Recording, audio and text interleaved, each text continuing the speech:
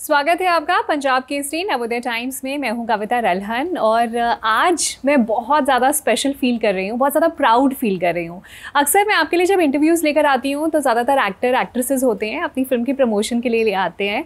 लेकिन आज जो हमारी गेस्ट हैं, वो बहुत ही स्पेशल हैं। उनको मैं असल ज़िंदगी की हीरो एंड हीरोइन दोनों बोल सकती हूँ। आइए वेलकम करते हैं India's first women IPS officer Hindustan की बेटी द किरण बेदी। आइए स्वागत करते हैं और उनके साथ है आपके ऊपर जो बायोपिक फ़िल्म बनने जा रही है बेदी। उस फ़िल्म के writer and director Kushal Chawla बहुत बहुत स्वागत है आपका।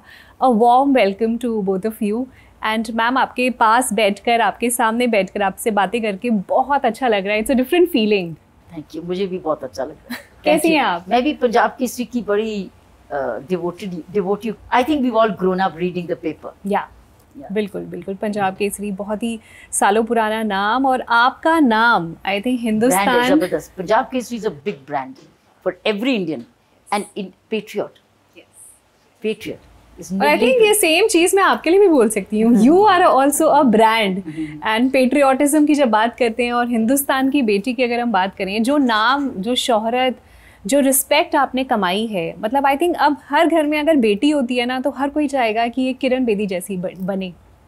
एम आई राइट सुना है। अच्छा सबसे पहले बताइए ये फ़िल्म बनाने का किसका आइडिया था? और ये कब शुरू हुआ? बिकॉज़ आपके ऊपर डेफिनेटली फ़िल्म हम इतने सारी फिक्शनल फ़िल्म देखते हैं जहाँ पे कुछ रियल लाइफ से लेना देना नहीं होता बट रियल लाइफ लेजेंड पर आपके ऊपर तो डेफिनेटली फ़िल्म बननी चाहिए थी। ये आइडिया अभी आया या सालों पहले भी आया था कभी? इससे पूछ ले। तो द पहली बार जब हम मिले थे अराउंड चार साल पहले मैम को तब द एक ना मैम की स्टोरी है जो दुनिया को पता है you know everyone know strict cop ma'am रही। बट एक उस जो दुनिया को पता है उसके अलावा बहुत सारी स्टोरी है। वो स्टोरी बताने के लिए हमें लगा कि ये स्टोरी सिर्फ़ इस जनरेशन तक लिमिटेड नहीं रहनी चाहिए। हुआ फॉर्चुनेट जिन्होंने देखा ये। बट इट शुड गो कि वो उन जनरेशन तक जाए जो आगे आएँगी एंड उनको इंस्पायर करें।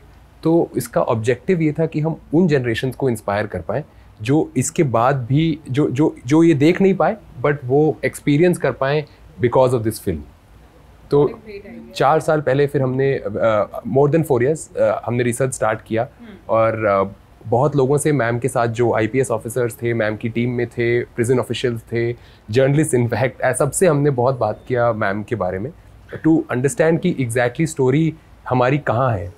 और इसीलिए फ़िल्म हमने जो निकाला इज़ मोर अबाउट जो लोगों को नहीं पता। एक तो साइड है कि वॉट लोगों को पता है बट हाउ नहीं पता।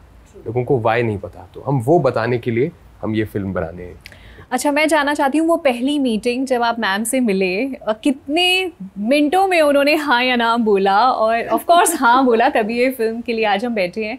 But then what was her first reaction ये ये रिएक्शन मैम बताएँगे।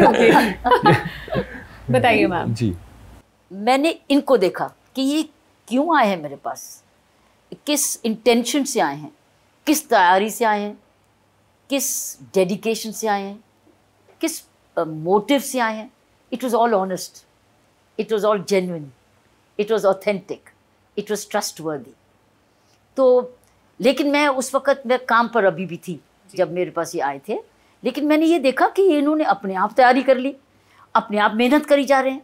आफ्टर ऑल इसमें टाइम लगता है एनर्जी लगती है पैसा लगता है। But they are spending on their own and researching me and interested in me जबकि मैंने मैं मैं तो अभी भी काम पर हूँ मैं तैयार नहीं हूँ लेकिन they are continuing I love this kind of day मुझे पहले भी रिक्वेस्ट आई थी। Yes. मैं कभी तैयार नहीं थी।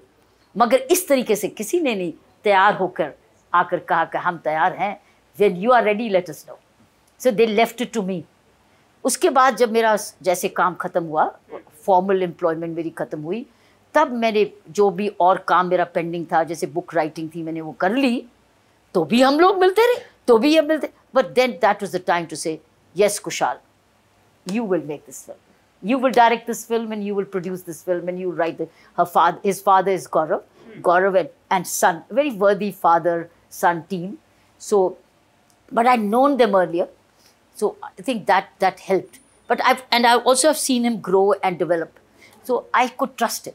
And then he was nearby. We could continue to meet in each other. It's very important that when you work with the director, script writer we work closely. Yeah. इसमें egos नहीं है hmm. ये मेरा ये मेरा ये इसमें कोई कंपटीशन नहीं है hmm. इसमें give the best he had done his best homework now all I had to do was what was in my head what was not public what was only I knew कि जब मेरी यहाँ से transfer हुई तो मेरे senior ने मुझे क्या बोला मैं उस वक्त समझती हूँ मेरे सीनियर ने मुझे क्यों निकाला उस काम से hmm. मैं ही जानती हूँ मेरे सीनियर ने इस इस काम को क्या कह के कहा ये काम करो और क्या दूसरों ने क्या कहा कि ये, ये कौन सी पोस्टिंग है इसमें नहीं जाना। See this conflict was not in the papers is not known but he knew more but now ऐसे रखा अब बैठ जा फिर। अब तू लिखने वाला है ना अब मैं तुझे दिल अपने मन की जो चलती हुई फ़िल्म है ना वो हाँ। सुनाती हूँ जो कि पब्लिक नहीं हुई। That's why he chose this word the Kiran you do not know the story you do not know. the name you know, but the story you don't. The name you know, yeah. but the story story was still in her head. Yeah.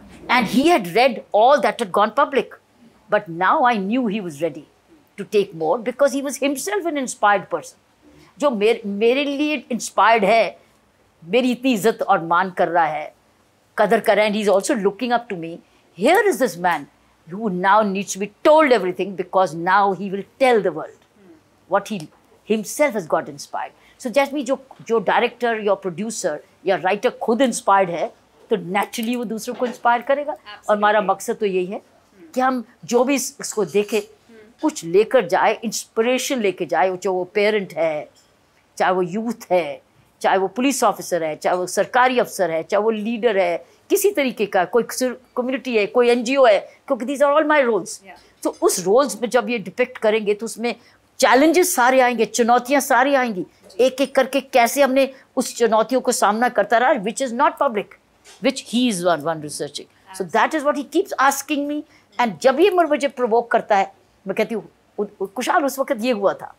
उस वक्त ये लोग खड़े थे। उन्होंने ये कहा मैंने ये कहा मैंने ये सुना ये लिखा गया लेकिन वो public. So this is what I think it's this is the kind of relationship it should be with the director and script writer खुद inspired and his everything will now inspire definitely Kushal लेकिन एक real life legend पे film जब आप बना रहे हैं और जब किरण मैम ने आपको सारे यू नो इंसिडेंट्स भी अच्छे से नरेट किए क्या आपको कभी किसी लेवल पे डिफ़िकल्टी आई कि इसमें से कौन सा रखना है कौन सा नहीं रखना? बिकॉज़ किरण मैम का थर्टी फाइव ईयर्स का सर्विस और उसके अलावा भी उन्होंने कितना अच्छा अच्छा काम किया है।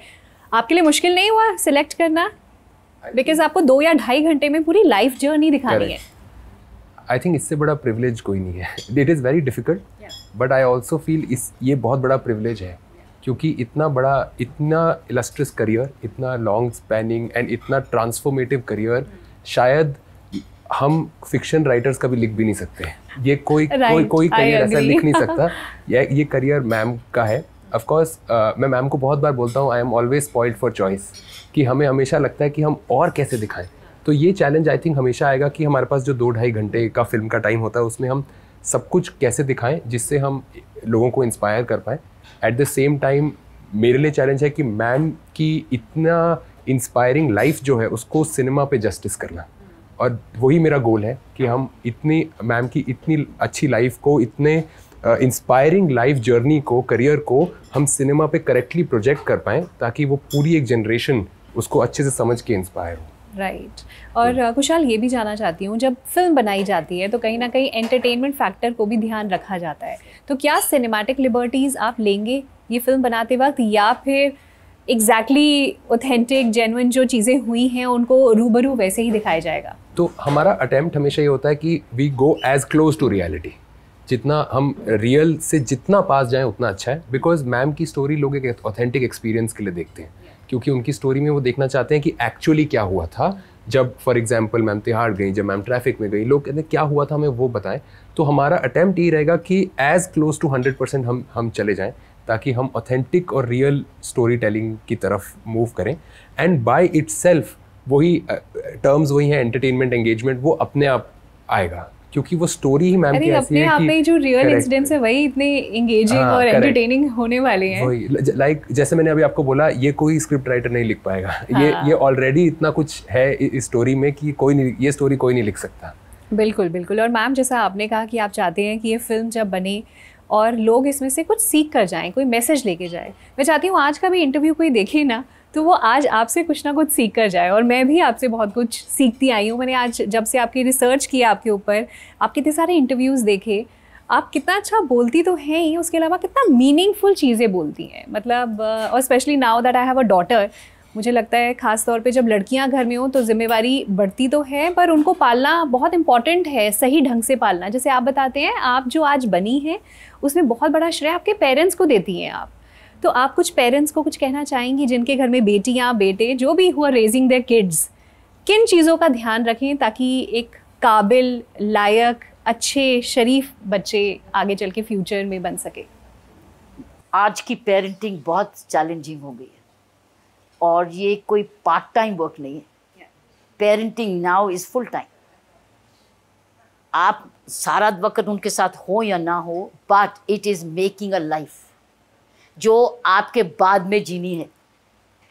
तो आपने इसलिए जब आपने एक पौधा लगाया या एक पौधा इस अब इस जीवन में लाए, एक बच्चा लाया, लाए, आपको उसको ऐसे नर्चर करना है ताकि आने वाले, आपके जाने के बाद वो खुश सक्सेसफुल लाइफ जी सके। और उस सक्सेसफुल लाइफ का जो बुनियाद है, वो है उसका बचपन, उसकी अपब्रिंगिंग और उसमें दोनों and father and grandparents and the school teachers ये सारे school teachers school grandparents and parents और उनका होम वातावरण बाहर का नेबरहुड कोई भी हो, कोई फ़र्क नहीं पड़ता। अगर parents grandparents and teachers school उस बच्चे को मिल गया और आपने उसको समय दे दिया उसका उसकी बुनियाद बनाने के लिए आपके जाने के बाद वो आपका नाम कभी नहीं भूलेगा। वो कहेगा जैसे आज मैं अपने माँ बाप को याद करती हूँ ऐसे हमेशा आपको याद करेगा। इसमें पैसे की बात नहीं है इसमें समय की बात है। और आज क्योंकि हम लोग जॉइंट फैमिली भी नहीं रहे और मदर फादर भी काम कर रहे हैं स्कूल्स भी बड़े आ, कई स्कूल्स बहुत इन्वेस्टमेंट कर रहे हैं कई नहीं कर पा रहे। मैं समझती हूँ इस वक्त समझने की ज़रूरत है कि parenting is no more part time इसलिए जब आप एक पेरेंट बनना फैसला कर लो तो ये पहले प्लान करो कि आपके पास सपोर्ट सिस्टम है अपने बच्चे को पालने के लिए कि नहीं। नहीं तो अच्छा बोर्डिंग स्कूल ढूंढ लो। अच्छा बोर्डिंग स्कूल जिसमें वीक उधर बता लो मीन्स फाउंडेशन तो अगर इसलिए आज की चुनौती क्या आ रही है? बच्चा सुन नहीं रहा आपका सोशल सोशल मीडिया में सिर्फ़ सिर्फ़ उधर ही उधर उधर ही उधर उधर ही कई स्कूल्स ने क्यों हॉस्टल में जा रहे हैं? क्योंकि स्कूल्स ने कह दिया no phones no phones so वो हटाने के लिए they are sending the why so what I am saying is parenting is a very big challenge and और the world the coming world is a more challenging world, more uncertain, more changing all the time than ours was. So it's now becoming unpredictable तो आपको uncertainty के लिए अपने बच्चे को तैयार करना है। सर्टनटी नहीं है। अनसर्टनटी दैट मीन्स उसको आपने ट्रैकिंग में भी ले जाना है खिलाना भी है hmm. सिखाना भी है पढ़ाना भी है स्किल्ड भी कराना है घर का काम भी सिखाना है हेल्पफुल भी बनाना है ग्रेटफुल भी बनाना है खुश रहना भी सिखाना है प्रेयर करना भी सिखाना है मेडिटेशन भी सिखाना है इस सब के लिए टाइम चाहिए राइट टाइम देना है बच्चों को तो कौन देगा मम्मी डैडी दोनों काम करें टर्न लें पेरेंट्स ग्रैंड पेरेंट्स को बोलो प्लीज़ हमारे साथ ही रहें।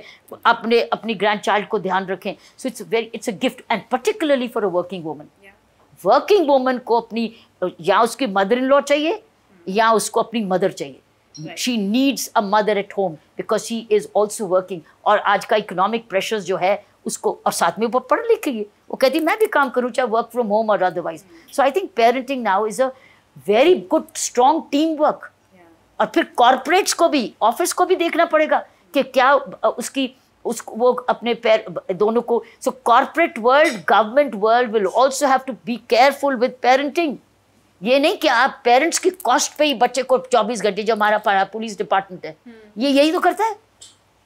वो कहाँ पूछता है कि आपके बच्चों का क्या हाल चल? कोई नहीं पूछता। फ़ी, फीमेल पुलिसिंग ले जा रहे हो। कभी किसी ने फीमेल पुलिस से पूछा कि तुम्हारे बच्चे का क्या हाल है? बच्चे स्कूल ठीक से जा रहे नहीं पूछते? Welfare concept is not come to policing at all और मैं आपको बता दी, जितनी वुमेन ऑफिसर्स आज काम कर रही हैं ना, वो अपने बच्चों के टाइम की कॉस्ट पे कर रही हैं। उनके बच्चों का कौन ध्यान रखेगा? So either we have very good hostels very we should have hostels residential schools residential hostels day boarding day boarding हो जिसमें बच्चे को एडमिट करके डे बोर्डिंग करें। दिस इज़ इंपॉर्टेंट पार्ट अगर आप चाहते हो गुड पुलिसिंग मैन और वेमेन आप डे बोर्डिंग अवेलेबल करें which means financial investment in police budgets of the states so that's a challenge these challenges we are not looking at मेरा मेरे घर में मेरे पेरेंट्स थे तो मुझे इसे ये खुशकिस्मती है। We were blessed this is destiny right अच्छा आपने जितने भी अपनी पूरी लाइफ में जितने भी रोल्स निभाए हैं you were a daughter wife mom police officer मैं जानना चाहती हूँ इसमें सबसे चैलेंजिंग या और इंजॉयबल दोनों रोल्स क्या लगे? मदर चैलेंजिंग भी और enjoyable भी। most difficult. How to be a good mother and how to find the time for the child. And how to nurture the child मतलब पुलिस ऑफिसर के रोल से भी ज़्यादा मदर का रोल 100%, चैलेंजिंग होता है 100%. सुन रहे हैं आप solution सब ही नहीं क्योंकि आपका ना उधर child is your master yes child is your boss so but luckily for me because my mother was balancing everything Yeah. that she was never alone my mom was there नहीं तो हर एक को किसी कहाँ मिलता है सब कुछ तो मुझे ये ये खुशकिस्मती मिली कि mummy was there to take care of my child all the time but it was very challenging because child wants the mother all the time. True true बिल्कुल सही। अच्छा आप जो है 1981 में ट्रैफ़िक पुलिस डीसीपी भी रही। सो ट्रैफ़िक पुलिस में भी आपने बहुत सारे रिफॉर्म्स लेकर आए, बहुत इम्प्रूवमेंट हुई। लेकिन आजकल जो सिनारियो चल रहा है, आजकल के टाइम पे इनफैक्ट अभी ये कुछ दिन पहले न्यूज़ भी आई थी, जहाँ एक सत्रह साल के बच्चे ने अपनी लग्जरी कार से कितने सारे लोग की जान ले ली। अगर आज आप ट्रैफ़िक पुलिस डीसीपी होती तो किस तरह के रिफॉर्म्स लेकर आती या क्या रूल्स बनाती कि इस तरह के हादसों को हम प्रिवेंट कर सकें? It's very important again back to parenting आप अपने बच्चे को ग्रो कैसे करते हो? कितनी लिबर्टी देते हो और कितनी नहीं देते? कितना पैसा देते हो और कितना नहीं? कितना कंफर्ट देते हो कितना नहीं? स्कूल्स भी उसको वॉच करें कि वो किस चीज़ से किधर जा रहा है नहीं। सी आ गया ना role elder role that case is depictive of role of the upbringing ये सडनली नहीं बच्चा सडनली नेग्लिजेंट ड्राइविंग नहीं कर रहा। शुरू से। शुरू से कोई ना कोई so we need to work जब भी भी हम ऐसे केस को देखें we must understand and go back to the foundation and school should be equally responsible क्योंकि ये डिवियंसी स्कूल में भी दिखती है। वो पढ़ाई में भी उसकी कमी होगी लैक ऑफ़ कॉन्सेंट्रेशन होगी अटेंशन लैक ऑफ़ अटेंशन होगी। तो schools are parents while they are teaching and parents are teachers at home and the teachers are mo- mothers at mothers and fathers in school so this is the role now we have to play for our youngsters but because of paucity of time but we must be very careful if we are very rich child को वही grind सिखाओ कि मेहनत करके कमाओ मेहनत कर pocket money limit करो Exact- ये नहीं कि आपके पास एक्स्ट्रा है तो वेस्टेज ना नो वेस्टेज आप कमाओ आपको ये अलाउड पे पॉकेट मनी है ये तुम्हें मिलेगा, ये नहीं मिलेगा। शुरू से, और उसके रूल्स एंड रेगुलेशंस कि रात को कितने बजे शाम को dinner has to be with parents not friends dinner parents so parenting को, ताकि पेरेंट्स एक दूसरे से बात कर सके। Parents are also available for dinner so that कम से कम एक खाना तो मिल के खाओ, एक दूसरे से बात तो करो।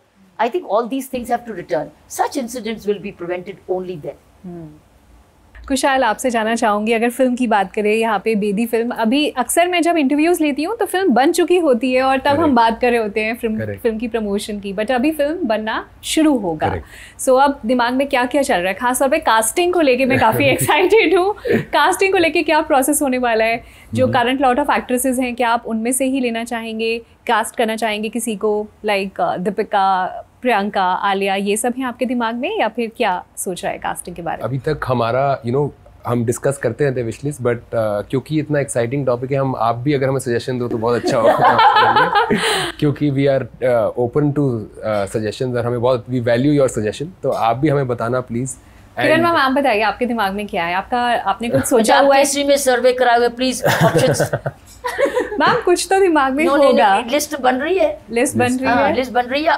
लिस्ट भेजो। लिस्ट के मुझे पहले दो नाम बता दो। नहीं लिस्ट भेजो। लिस्ट भेजो now no disclosures no disclosures but options are open but very big shoes to fill for sure या very big definitely Kiran ma'am, आपका हम थोड़ा सा उस फ़ेज़ का जानना चाहते हैं, उस फ़ेज़ के बारे में बताइए, जब आप तिहाड़ जेल में पोस्टेड थे बिकॉज़ तिहाड़ जेल में पोस्टिंग किसी के लिए भी एक तरह की पनिशमेंट भी हो सकती है बिकॉज़ इट्स नॉट ईजी वहाँ पे इतने बड़े बड़े क्राइम वाले किए हुए क्रिमिनल्स होते हैं, उनके साथ डील करना आसान नहीं था बीइंग अ वुमेन सो आप बताइए, वहाँ पे उस वक्त भी आपने उस चैलेंज सिचुएशन को भी एक अपॉर्चुनिटी में अपना एक प्लस पॉइंट बनाया। वहाँ पे भी आपने इस तरह के रिफॉर्म्स लेकर आए मेडिटेशन कैंप्स और उनको, और किसी और तरीके से उनको बिज़ी रखना, वो सब। तो बताइए, अगर लाइफ में कभी चैलेंजेस आते हैं तो हम उसको किस तरह से पॉजिटिव बना सकते हैं? आप किस एटीट्यूड से काम को देखते हो। आप किस एटीट्यूड से अपने कर्तव्य को देखते हो। मैं उस एटीट्यूड से देखती हूँ, हर जो कर्तव्य मैंने अपनाया कि मैं यहाँ करने क्यों आई हूँ? और मैं क्या देकर जाऊँगी? और मुझे रोज़ रोज़ क्या देकर जाना है ताकि मैं अपनी जो पर्पज़ uh, है उसको मीट करूँ। So I always look for the purpose and I every day try and meet the purpose is no holiday in my purpose so मेरा पर्पज़ तिहाड़ जेल में क्या था? तिहाड़ को आश्रम बनाना। क्योंकि अगर दस हज़ार रह रहे हैं और अगर उसको ऐसे ही छोड़ दिया तो वो तो क्रिमिनल डेन बन जाएगा। और जब भी निकल के जाएँगे तो दोबारा क्राइम करके आएँगे। तो कैसे करूँ जिसमें यहाँ से जाए वापस नहीं आए? इसको आश्रम बनाओ। तो ashram means education meditation yoga sports cleanliness health mental health no drugs no smoking see all this so सारी चीज़ें और पब्लिक एंट्री पब्लिक का सहयोग स्वयंसेवी संस्थाएँ सो so, ये सारी चीज़ भक्ति प्रार्थना सो so, ये ही तो आश्रम बनाती है। उसकी दिनचर्या उठो समय से सो सबसे नो नो धूमरपान। सी और नो फालतू का नॉट करप्शन अपनी सफ़ाई भी बुरी और लेगडलर डायलॉग यही तो आश्रम बनाता है और भक्ति और म्यूज़िक ये सब कुछ हमने त्योहार में ले आए पर मैम आपसे पहले कभी किसी ने इस तरह के स्टेप्स नहीं उठाए सो so, आपके अंदर क्या अलग था या आपने कहाँ से इंस्पिरेशन ली इस तरह की रिफॉर्म्स लाने के लिए आपको ये आइडियाज़ कहाँ से आए ऐसे being a woman woman was a plus point. Nice. Because a woman is a mother at heart. Yeah. Being a woman was my biggest strength. And secondly, I was a mother at heart. Third, I was also spiritual. जब आप mother भी हो spiritual भी हो तो spirituality से मानवता आती है तो ये मानवता है आश्रम तो ये मानवता मैं लेकर आई तिहार में मानवता ही पढ़ाती है मानवता ही दूसरे का भला सोचती है मानवता ही रिवेंज नहीं लेती मानवता ही वायलेंस को भगाती है तो ये मानवता and being a woman was my strength and has been my strength secondly being spiritual at heart मैं सर बिल्कुल ईश्वर से डर के काम करती हूँ अच्छा सही कर्म करती हूँ सो करने की कोशिश करती हूँ नई शुद्ध सोच रखती हूँ, स्वच्छता रखती हूँ तो वही लेके जाऊँगी ना अपने काम में। मैं बदल थोड़ी जाऊँगी। अगर यही मेरी सोच है, यही सोच, मेरी हर कर्म में ऐसी सोच तो यही सोच लेके पहले दिन से मैं जुट गई कि इसको आश्रम बनाना है। और आश्रम में जो जो नियम होते हैं वो लाने हैं। इसलिए कुछ महीनों के बाद कैदियों ने खुद ही कह दिया करना से मैम तिहाड़ जेल क्यों बोल रहे हो? ये तो तिहाड़ आश्रम है। कैदियों ने खुद कहना शुरू nice. काम भी सीखना यूनिवर्सिटी hmm. भी आ गई Indira hmm. Gandhi national open university national open school ये सब आ गए। पढ़ाई भी शुरू स्किल भी शुरू सेवा भाव भी school prisoners educated prisoners teachers बन गए। वो टीचर्स बन गए। Oh, दस हज़ार प्रिजनर्स सब पढ़ते थे। सब रोज स्कूल नौ से ग्यारह। यूज़ स्कूल बुक से कोई बाहर से खर्चा नहीं कुछ नहीं बाहर की से। सो मीडिया भी आ गया देखने के लिए कि हम लोग क्या कर रहे हैं ताकि आपको पता होना चाहिए विश्वास होना चाहिए कि हम ऐसे नहीं बोल रहे। So it was open list of communication तो वही जो सोचा था कि ये सजा की पोस्टिंग है मैं था वो तो आशीर्वाद था। वो एक पर्पज़ के लिए था कोई कारण था। जो कि और उसने वाकई में बदला दिया। क्यों? शायद ये पहली पोस्टिंग थी मेरी जहाँ मैं first time head of an institution थी। उससे पहले मैं यूनिट की हेड थी ट्रैफ़िक की हेड थी डीसीपी नॉर्थ थी ऐसे वेस्ट ईस्ट लेकिन ये पहली बारी थी I was head of a department जिसमें मैं पॉलिसी ले कर सकती थी। तो पॉलिसी ये बनाई मोमेंट से हम आश्रम बनाएँगे तो सबके दिमाग में नहीं आ जाता कि आश्रम मीन्स वॉट सादगी सच्चाई स्वच्छता करप्शन फ्री नो वायलेंस आता ना? I I just don't have to say ashram का मतलब क्या है that's the reason so it is the purpose of this even this movie has a purpose the purpose is to inspire है ना correct is to inspire through experience जो लेना देख लो जो अच्छा है जो अच्छा किया और इससे भी बल्कि ज़िंदगी में ये इंस्पिरेशन ले जाओ कि आप इसे और भी अच्छा कर सकते हैं एब्सोल्युटली एब्सोल्युटली और किरण मैम एक मेरा पर्सनल सवाल था कि आप सब हम विमेन के लिए यू आर दी आइडल है ना? आपको हम जब देखते हैं तो I think you are the epitome of bravery strength courage लेकिन सारी विमेन इतनी ब्रेव और इतनी करेज सब में नहीं होता मैम सो so, अगर ये सारी क्वालिटीज़ मैं चाहती हूँ मेरे में भी आए मैं भी ब्रेव बनूँ करेजिस बनूँ मेरे अंदर भी हिम्मत आए ताकत आए सारे सपने पूरे करने के लिए तो क्या किया जा सकता है अपने आप को ब्रेव और करेजिस बनाने के लिए? जब छोटी हो तो ही बदलो। छोट ये आपकी फाउंडेशन इम्पोर्टेंट है। मैं छोट नौ उम्र नौ साल की उम्र से टेनिस खेलती थी। बारह साल की उम्र से सिर्फ़ साइकिलिंग करती थी। लड़के छेड़ते थे मैं भी उनको छेड़ती थी। मतलब उन्होंने डराना मैंने डराना। हिम्मत आ गई ना। It's all small small wins which make you winner and the small wins begin when you are small हम लोग स्मॉल में प्रोटेक्टेड रखते हैं। लड़की को तो प्रोटेक्टेड रखते हैं। कहीं इसको कोई तंग ना हो जाए कोई करेक्टली पेरेंट्स लेकिन अगर आप जितना प्रोटेक्टेड करोगे वो बहादुर कब निकलेगी? हिम्मत कब निकलेगी? तो हम लोग हमको तो ये है छोड़ा भी और संभाला भी। हम्म। छोड़ा भी और संभाला भी। और आके शाम को पूछा भी कि क्या किया सारा दिन? सो खेला भी पढ़ाया भी लक्ष्य भी बताया सपना भी दिखाया और कह दिया तुमने कभी किसी से मांगना नहीं है। मेरी मम्मी ने मुझे कह दिया था तुमने बड़े होके किसी से कभी कुछ नहीं मांगना। तुमने सिर्फ़ देना सीखना है। My mother's message was you will be a giver and never a receiver तो अब मैं कैसे रिसीवर बन जाऊँ? क्योंकि मैं अगर अगले दिन घर चली गई तो मैं तो रिसीवर हूँ क्योंकि मैं खुद तो कमा ही नहीं रही। मेरी माँ ने कहा था you will be never receiver you will be a giver all the time you man और अ वोमन जैसे आदमी गिवर होता है hmm. तुम भी गिवर बनोगी। तुम किसी से कम नहीं। Why why should you not be a giver that means I have to earn I have to study और पढ़ते पढ़ते सोचते सोचते सोच लिए अब और भक्ति भी आ गई देश मूल्य भी आ गए। So if we bring up our children play make the girls play make the boys play इनको टाइम वेस्ट मत करने दो। School hmm. के बाद कुछ ना कुछ खेलो। Right. खेलो पढ़ो समय पर बात मत करो। शाम को आओ मम्मी डैडी के पास। और आके बातचीत करो। कुछ family so there is a family get together and there is a play and there is a creativity and there is an entertain it can be music it can be art बच्चों को school के बाद free मत छोड़ो। उनको please किसी ना किसी activity which means we looking for more day boarding schools हमारे यहाँ स्कूल का पुराना रिवाज है women were not working now women are working. You need more day boarding schools. You don't need day schools now. तीन बजे school खत्म नहीं होना चाहिए। स्कूल खत्म होना चाहिए छः बजे साढ़े छः बजे ताकि मम्मी डैडी कमा के आ, काम करके आपके बच्चे को पिकअप करें। तो बच्चे ने होमवर्क भी फिनिश म्यूज़िक भी सीख लिया खेल भी लिया कर लिया। अब मम्मी डैडी के पास सिर्फ़ खाना खाने जा रहा और सो रहा है। कोई झगड़ा नहीं कोई ट्यूशन नहीं कुछ नहीं। Why can't be think of day boarding school concept now because all women are working और मैम आप इतनी सारी आई थिंक सब विमेन मैन सबके लिए इतनी बड़ी इंस्पिरेशन है। आप अपनी इंस्पिरेशन किसी को मानते हैं? मैं आइडियाज़ लेती हूँ। रोज नया आइडिया कोई ना कोई नया आइडिया कोई नई बुक कोई नई फ़िल्म okay. नए लोग।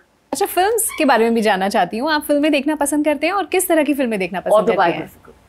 I love non fiction autobiographical okay कोई रीसेंट uh, टाइम्स में आपकी फेवरेट फ़िल्म ये जितनी लेटेस्ट बायोपिक्स आ रही हैं मैं देखती रहती हूँ।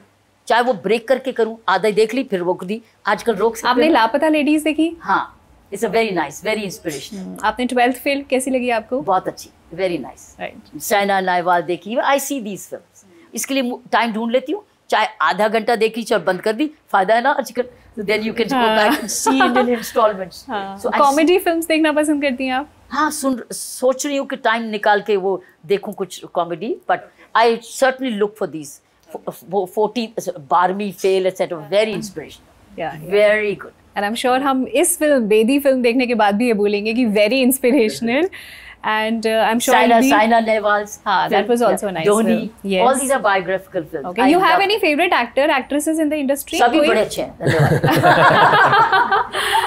नाइस मैम ये कुछ लाइंस हैं स्टेटमेंट्स हैं जो बचपन से हम सुनते आए हैं औरतों के ऊपर अगर आप उनको चेंज करना चाहें या उनका कुछ अपना वर्जन देना चाहें तो डेफिनेटली दे सकते हैं जैसे लड़कियों को शुरू से कहा जाता है तुम पराया धन हो तो इस स्टेटमेंट को अगर आप चेंज तो प्रॉब्लम है ये पराया धन नहीं ये अपना धन है। एब्सोल्युटली रोटी गोल बनाओ वरना ससुराल में ताने सुनने को मिलेंगे। तो ना खाए रोटी। नाइस बच्चा कर लो सब ठीक हो जाएगा। यही तो गलती है। रात को बाहर जा रही हो भाई को साथ लेके जाना। क्यों? क्यों लेके जाऊँ? उसको बोलो मुझे लेके जाए पति है इतना तो सहना सीखो। क्यों? वो क्यों ना वो क्यों सहूं? मेरे प्रॉब्लम क्या है? वाई वाई शुड आई सह रीजनेबल हो तो बात ठीक। He has to be reasonable लड़की हो मर्यादा में रहना सीखो। क्यों? आदमी क्यों नहीं? लड़का क्यों नहीं मर्यादा में रहे? मर्यादा तो हर एक को चाहिए। मर्यादा सिर्फ़ लड़की के लिए नहीं। मर्यादा तो लड़कों को भी चाहिए। मर्यादा में रहेंगे तो वो एक्सीडेंट्स ऐसे नहीं होंगे। Nice, nice. That's it. it was lovely talking to you. बहुत बहुत अच्छा लगा और ये आज का दिन मेरे लिए one of the most memorable day of my life होने वाला है एंड अगेन लास्ट में एक क्वेश्चन मैंने और सोचा था वो पूछ लूँ टाइम है हमारे पास अगर किरण बेदी बनना है तो कैसे बना जा सकता है तपस्या के जीवन के लिए तैयार रहना अगर आपने बेटी पैदा की है तो ऐसे उसको मूल्य देना कि वो तपस्या को ही भक्ति समझे तपस्या को मेहनत नहीं समझे काम नहीं समझे उसको भक्ति समझे तो उसके लिए भक्ति ही ईश्वर की प्रार्थना है। I think that's the perfect way इस इंटरव्यू को एंड करने के लिए। Thank you so much and wish you all the very best for this film और आगे भी मैम आपने कितनी सारी करोड़ों लोगों की लाइफ्स को इंस्पायर किया है आगे भी करते रहिए। बहुत बहुत धन्यवाद। All our prayers are with this young man yes certainly इस ये भी ये अब ज़िंदगी में ऐसी चीज़ें जो मेरे जाने के बाद लोग देखते हैं। और तुम्हें बुलाते रहे कि दिखाओ तुमने कैसे बनाई? तुम्हारा इंटरव्यू होगा कि तुम बताओ तुमने कैसे बनाई। है ना? बिल्कुल बिल्कुल। हमारे सबके जाने के ma'am will always be remembered Yes. ये द गोल इज़ कि हर जनरेशन हमेशा इंस्पायर सिर्फ़ मैम से हो। एब्सोल्युटली वही हमारा गोल है। Thank you thank you so much thank you thank you so much It was lovely thank you interview.